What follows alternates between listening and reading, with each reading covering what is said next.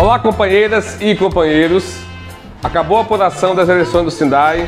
A Chapa 1 foi vencedora com aproximadamente dois terços dos votos.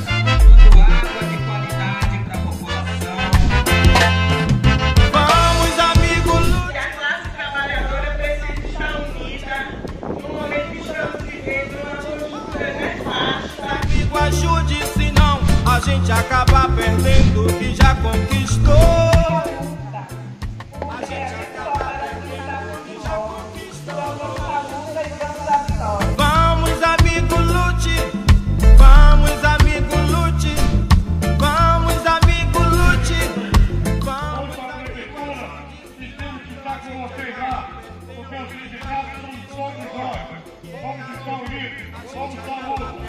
O que já conquistou.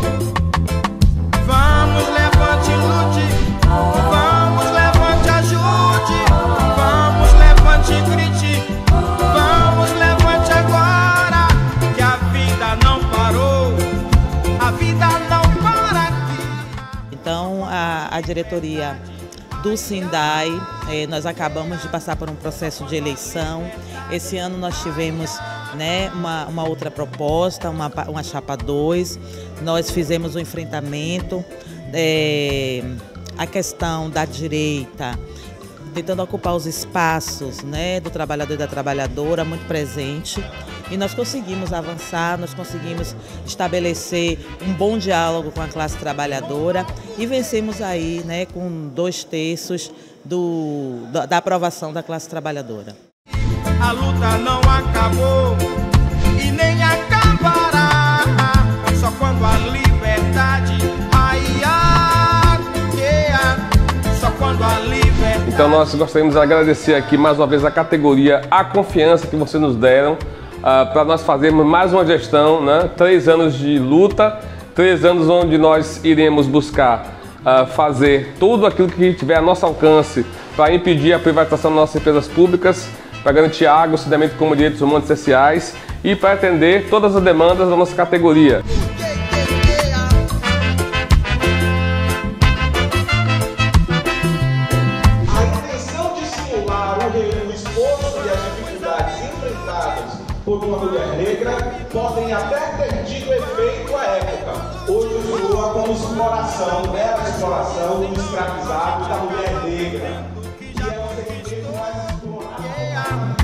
A gente acaba perdendo o que já conquistou.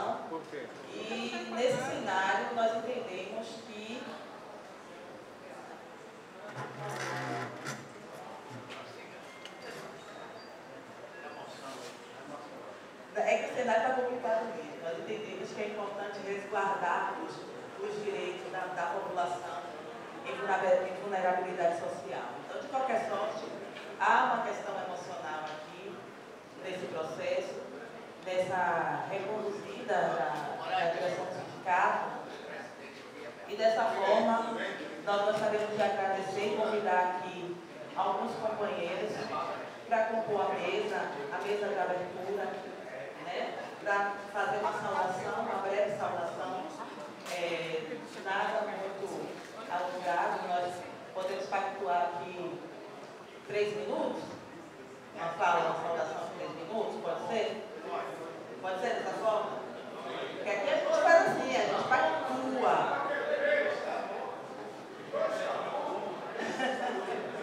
então pronto, vamos. No a gente sabe que não funciona, três está bom, com a tolerância 75 a gente consegue bater um papo aqui, fazer uma saudação e deixar um abraço forte né, para os nossos companheiros como eles Então eu gostaria de compor a mesa chamando primeiramente nosso coordenador eleito, Vigório Rocha, para compor a mesa.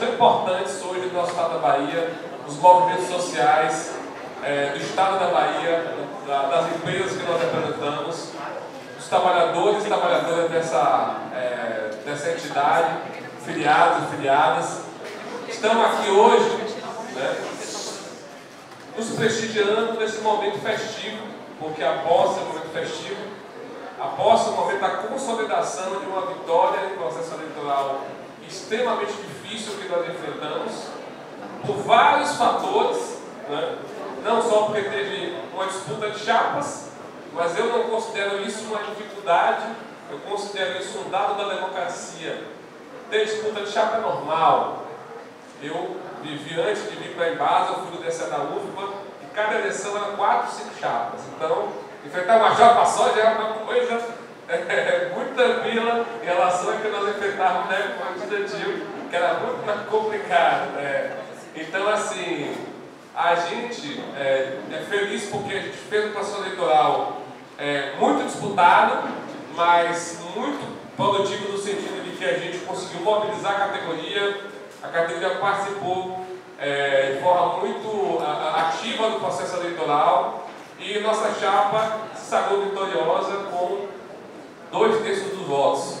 E aqui eu quero fazer um registro e um agradecimento especial à companheira Monira, foi a presidenta da comissão eleitoral.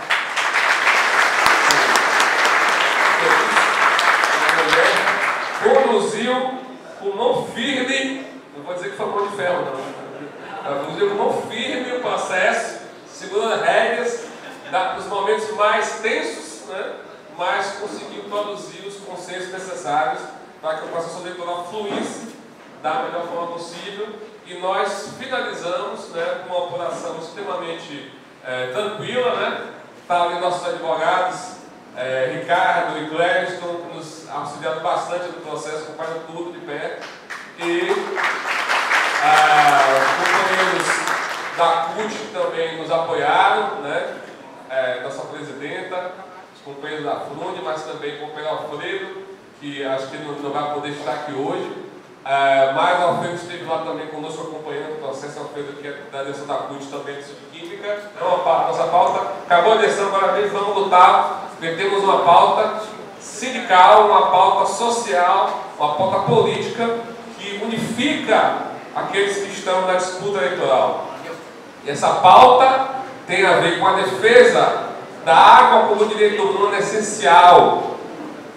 O saneamento também como direito humano essencial a ver com a defesa das empresas públicas que estão tão atacadas né, hoje com a legislação né, que vem buscar a privatização, a destruição das empresas estaduais, vem liquidar as fontes de financiamento para o serviço autônomo de água e esgoto, que vem incentivar os prefeitos a destruírem o saneamento e entregarem para grupos né, pouco republicanos e nossa pauta é coletiva.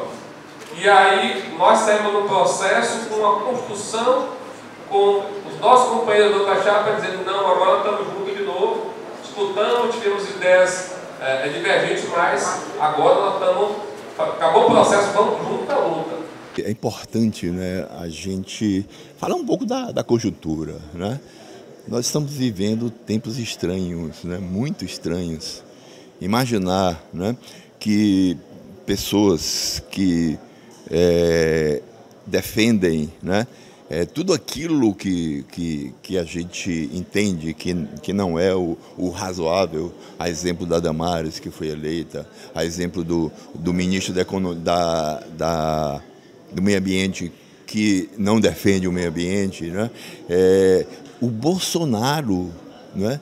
Ter quase 50 milhões de votos, um cara misógino, um racista, um fascista, um ditadorzinho, né? e a gente, obviamente, que corre um risco muito grande. Então, nós temos no dia 30 né, a possibilidade de afastar né, esse câncer que é, está impregnado na nossa sociedade brasileira.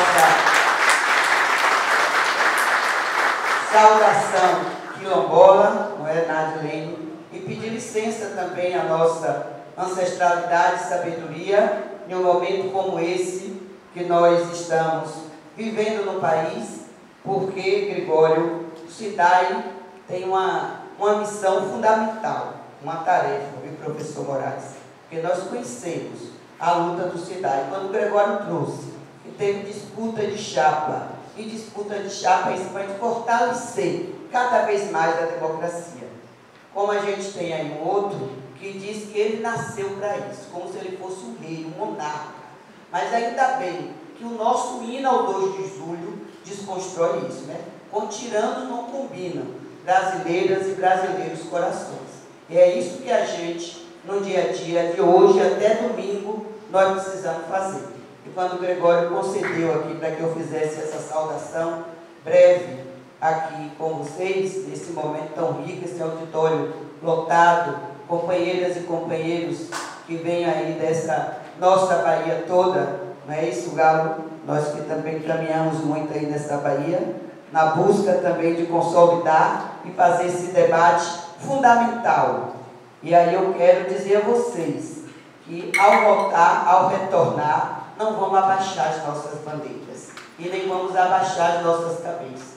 Porque é isso que o lado de lá, cada dia que passa, vem colocando ameaça, ameaça à democracia, nossa democracia tão nova, mas está sofrendo ataques diários e direto, e a gente sabe, o fruto desse momento que nós estamos vivendo, até domingo, 5 horas da tarde, a importância que tem, porque essa eleição é a eleição das nossas vidas, que está em disputa aí a nossa sobrevivência, a luta nossa que esse sindicato nos pauta todos os dias do saneamento, desse saneamento, público e que nós acreditamos, e a Embasa também continuar como o SIDAI e todos nós, deputados, parlamentares, defendemos, não foi Marcelino, quando nós estivemos lá na Alba, e a Embasa também continua, continua esta empresa, que bom, tem representação aqui da Embasa, da SEB tudo, para a gente estar tá dialogando em uma mesa. E a mesa é isso, é para a gente estabelecer também esse debate. Um diálogo muito profundo, né? não existe definição sobre privatizar ou não né? a partir desse, desse governo.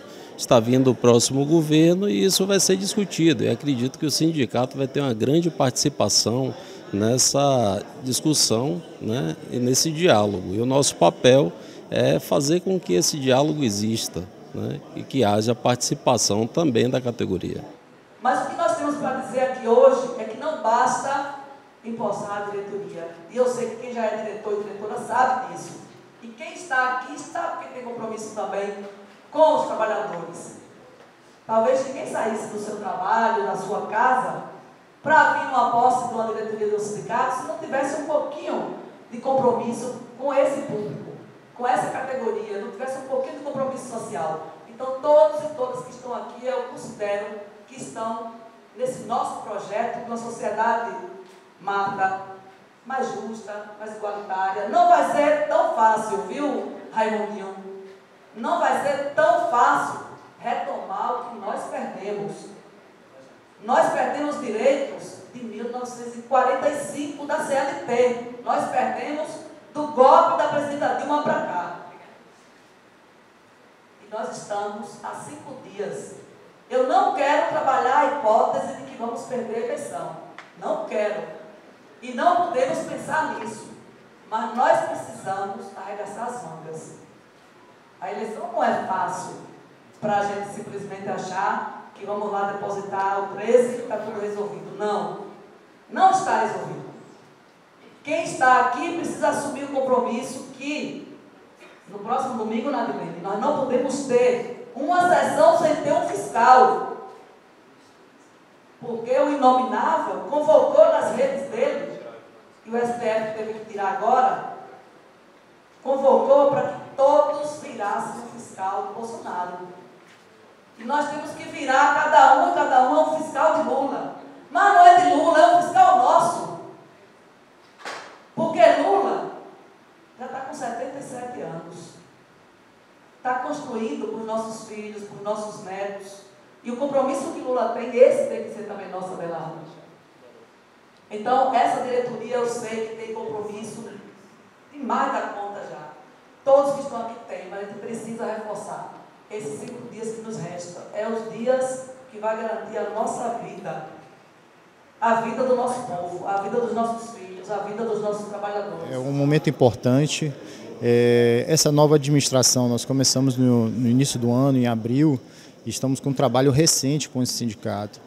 E eu acho que é de extrema importância porque nós já iniciamos uma conversa, né? Essa parte da é, tentamos atender aí o presidente Alexandre Freitas tem procurado atender o máximo dos pontos que têm sido debatidos lá com o sindicato. E eu acho que de extrema importância que se dê continuidade, né? No que já está sendo feito é muito importante para todos nós. Sempre defendendo o trabalhador. Claro, com certeza, né? Ainda mais com agora, né? Com esse nosso sistema de governo novamente, fé em Deus vai dar tudo certo, né? Vamos estar dando continuidade também no governo do Estado. Também é, o Instituto Corango, na pessoa do professor Marcos Citael, agradeço a presença. A presença do nosso ex-coordenador Gilson, muito obrigada, Gilson.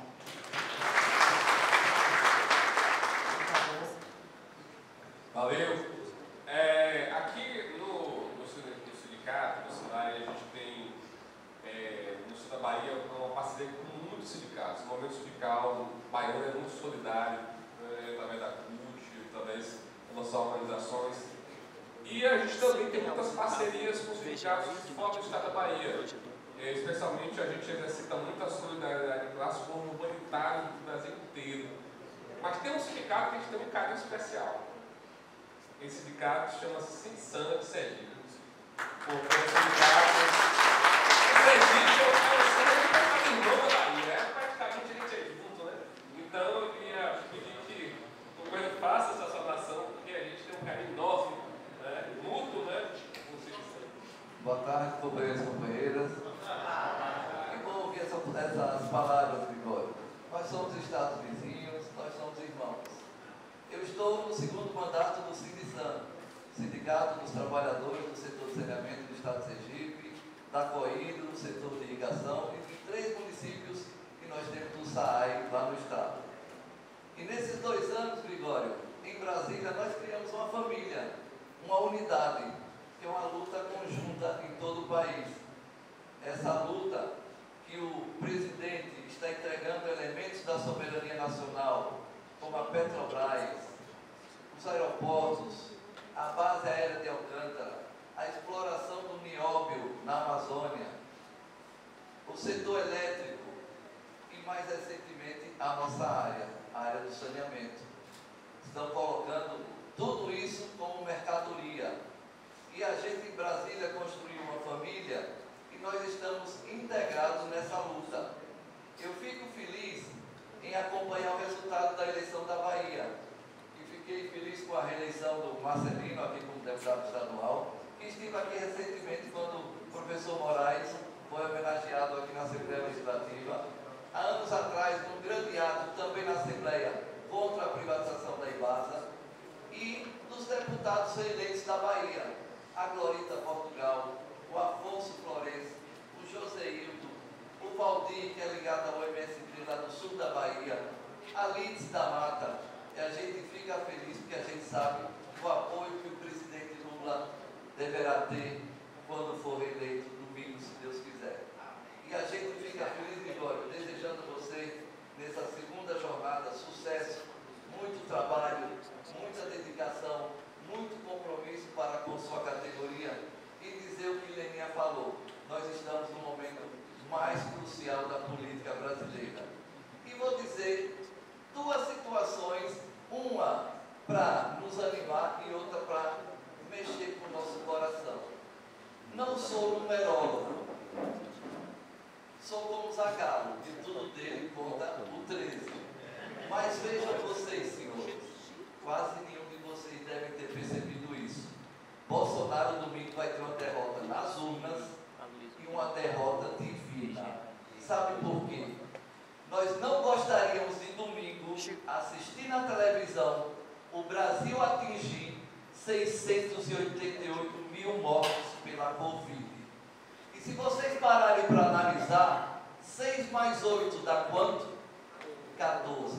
Com mais 8, é o número dele. É o número dele. E sabe qual o partido que ele foi filiar? Ao PL. Significa presidente Lula. Vamos para a.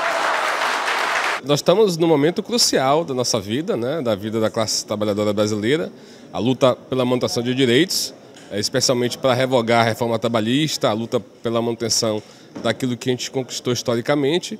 E agora no nosso ramo do saneamento é lutar né, contra a privatização, lutar pelo avanço da universalização do serviço de saneamento para a população brasileira. E esse avanço tem que se dar mediante as empresas públicas, as autarquias públicas. Uh, e aí a gente tem um compromisso grande, né, que é fazer com que uh, a gente tenha recursos para investimento, para universalizar e que os trabalhadores estejam é, na vanguarda dessa discussão. Então a gente vai buscar formulação de políticas públicas para avançar nesse tema. A Embasa, eu posso, eu posso eu apelar, nós estamos aqui representando a empresa,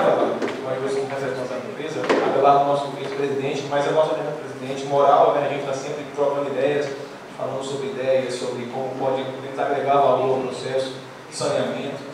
É, um, um, amigo antigo, eu tinha muitas brigas antigamente, em 2018, me falou o seguinte, Rodrigo, a gente conversou muito especificamente sobre isso, que uma pessoa que não gosta de política é governada pela que gosta.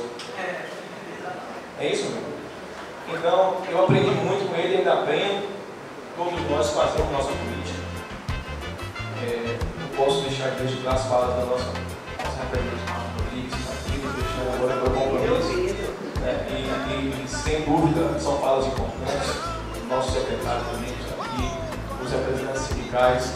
O sindicato é uma entidade importantíssima para todo o trabalho. Eu estou aqui representando a diretoria da empresa, da Embasa, naturalmente não falo nominalmente pelos outros diretores, mas posso representá-los enquanto empresa e com certeza deixar aqui meu abraço a toda a categoria pela eleição, pela chapa, é, pela, pelo êxito que logrou nesse momento. É, nós, vou falar um pouco sobre, sobre gestão, é, estamos passando, como você sabe, por um processo de transformação dentro da empresa. É importante que vocês façam parte para que essas transformações sejam em benefício do nosso trabalho. Uma delas é o nosso plano de saúde, que tanto aflige os nossos empregados, empregados, empregadas. Nós passamos muito compromisso, nós vamos fazer acontecer. Mas para isso, nós sempre contamos com o apoio de Gregório. A gente, a gente pedia para que notificasse, para que a gente pudesse atuar junto às empresas. E sem sombra de dúvida, todos os benefícios conquistados pela entidade sindical, desde a primeira CLT, em 1943, é, que a, a proclamação lá para o Getúlio Vargas, na época, lá no, no, no São Januário, até hoje, como a nossa presidente falou da CUT, nós temos perdido direito qualitativo.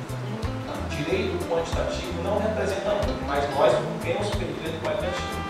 E é importante que nós tenhamos essa consciência que nós possamos fazer juntos o governo do Estado, com os partidos que compõem a base do governo, com todas as políticas públicas que nós temos feito, junto às secretarias, para que a Embasa, os SAAs, a CETREL e a SERP, que é a nossa coimbra, possamos fazer da sociedade um pouco melhor a cada dia. É, nesse período agora que nós estamos fazendo essa transição, é um momento de muita luta, um momento muito crucial, porque o setor de saneamento público está sendo ameaçado. E, por incrível que pareça, eu estou há 10 anos na diretoria do sindicato e já entrei nesse, nesse movimento de luta contra a privatização, nesse movimento é, de tentativa de barrar o processo de privatização, tanto da Embasa quanto no âmbito nacional. E a diretoria do sindicato, nós passamos por um processo eleitoral agora, né? Nossa, nosso mandato finalizou é, hoje, hoje nós, ontem, hoje nós tomamos posse. E já estamos aí diante dessa luta contra a privatização do saneamento nacional, contra a privatização da Embasa. E o sindicato vive nesse momento. É um momento, como, como você entrevistou aqui várias pessoas, é, a gente não descansa. Vou saudar, saudar aqui a todos todas e todos todos os nossos companheiros, companheiras, aqueles que compõem esse colegiado, que são muitos, né, nesse formato que quebra a burocracia sindical. E essa é uma luta fundamental, né, Benê? Nós temos que também fazer essa luta no sentido de avançar e tornar nossos sindicatos mais operativos naquele que é essencial, que é fazer a luta da classe trabalhadora. Por isso que nós precisamos dessa referência que é o SINDAC. A classe trabalhadora precisa de vocês. Então, para mim, é um privilégio estar aqui hoje, estar celebrando junto com vocês a nova direção, o novo colegiado, mas nós estivemos juntos. Eu aqui também agradeço naquela batalha duríssima, né? quando ali se queria adequar a Embasa, enrolar para presentinho, botar fitinha para entregar para o empresariado, né? um grande empresariado. Então nós não vamos permitir essa luta continua. A Embasa é pública. Não permitir que a água seja privatizada. Quero agradecer a TV Sempre, né, porque cobre os nossos eventos, está conosco e faz com que a nossa fala Obrigada. chegue, chegue em vários lugares. E eu quero agradecer de coração por essa parceria. É isso aí, está aqui hoje, cinco dias para o processo eleitoral, para o segundo turno, cinco dias contando com o domingo. E está aqui na posse do Sindai, esse sindicato valoroso, um sindicato combativo, um sindicato que tem compromisso social, né, que atua na, na base tanto dele quanto na sociedade de modo geral. Isso para nós, enquanto CUT Bahia, é muito simbólico. Nossa, enquanto povo, enquanto sindicato, movimento social, nesse momento ainda mais, né, urgente que a gente vive que a democracia está em jogo. Né? Então, agradecer, é, saudar toda a mesa, falas muito importantes, muito potentes, né, que me antecederam, é, que colocam, né, que está colocado assim, né, nesse momento para nós. Então, a eleição é uma questão central, eleger Lula, eleger Jerônimo, mas a gente também tem falado ao longo do tempo que, né, nesse processo pré-campanha e agora também, ainda mais agora segundo turno, que o que está colocado de desafio é maior do que só eleger Lula, é maior do que só eleger Jerônimo, mas é também garantir que ele tome posse, né, Lula tome posse, não está garantido, que ele tenha governabilidade, como já foi colocado, e que, para além disso, que o seu governo seja mais à esquerda. Então, vai estar em disputa, é, já, é, por isso a necessidade da gente estar organizado, tanto sindicatos quanto movimentos sociais estarem na rua disputando, colocando as pautas do povo, porque o empresariado já está fazendo isso. Sabe, mas realmente o desafio vai ser grande frente a tudo, a tudo que está se apresentando é, é, para todos nós brasileiros. Mas eu tenho aqui é, duas tarefas que me incumbiram. Uma, justificar a ausência aqui do companheiro deputado Afonso Florencio, né, que hoje está numa, num evento com o nosso é, candidato a governador Jerônimo e o, o governador lá no, no Oeste. E ele é uma das pessoas mais votadas lá, ele não poderia deixar de estar é, presente. E todos nós conhecemos, ali o companheiro do Cid Santo, o companheiro Afonso, ele se notabilizou a nível nacional em defesa do saneamento, ele era o líder das oposições na questão do saneamento, e foi, e foi exatamente com ele, com o Jodaildo, com vários companheiros aqui da, da IBA, da Alice Portugal, né? É, é, companheiro da Mata, vários companheiros e companheiras que nos ajudaram é, nesse processo de luta é, no, no, no, saneamento e as mudanças do saneamento. É, a outra tarefa que me cobriu é justificar também a audiência do nosso companheiro diretor Sandra Ramos, que foi acometido aí com uma virose e está trabalhando em casa e não teve condições né, de sair que desse um abraço, todos os dois dessem um abraço a todos. E a terceira informação é que talvez seja é, uma das minhas últimas participações aqui no SINDAI, porque após 46 anos de militância do saneamento, desde a minha formatura e quase 44 anos de base, eu vou me aposentar agora, no dia 30 de novembro. Então, é, eu estava brincando aqui com a companheira, dizendo o seguinte, olha, eu não acompanhei o crescimento das minhas duas filhas, mas agora eu vou botar os meus netinhos a aprender. É isso que o valor fala. Né? Mas dizer que né, nós, na medida do possível, vamos contribuir, eu continuo contribuindo, né? dizer que ter grandes dificuldades, nós vamos lutar, meu, meu companheiro Marcelinho Galo, né? É, para reverter a situação que está o saneamento é, no Brasil, mas queria dizer que não, que não vai ser fácil. Né? Não vai ser fácil pela composição desse Congresso, que é pior, né? ou seja, um Congresso que consegue ser pior do que o atual, né? que aprovou essa aberração que foi a Lei 14.026, que é, querem acabar e destruir todas as empresas públicas do país e entregar o setor de saneamento é, ao, ao, às empresas privadas. É muito, muito marcante. E eu vou me aposentar, mas não vou deixar. Falou, viva a cidade,